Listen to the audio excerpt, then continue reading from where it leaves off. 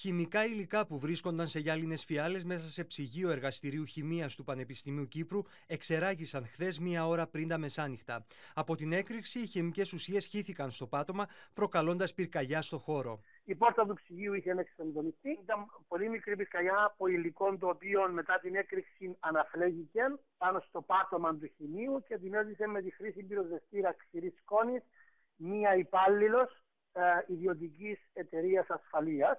Άμεση ήταν ωστόσο η επέμβαση της πυροσβεστικής υπηρεσίας μετά το μήνυμα που έλαβε. Τρία πυροσβεστικά οχήματα και ένα ειδικό όχημα αντιμετώπισης επεισοδίων με επικίνδυνα χημικά υλικά έσπευσαν στο χώρο. Η πυροσβεστική υπηρεσία εφάρμοσε τις διαδικασίες που προβλέπονται σε επιχειρήσεις που αντιμετωπίζουν με επικίνδυνα χημικά υλικά και με την χρήση ειδικών στολών προστασίας από τα χημικά.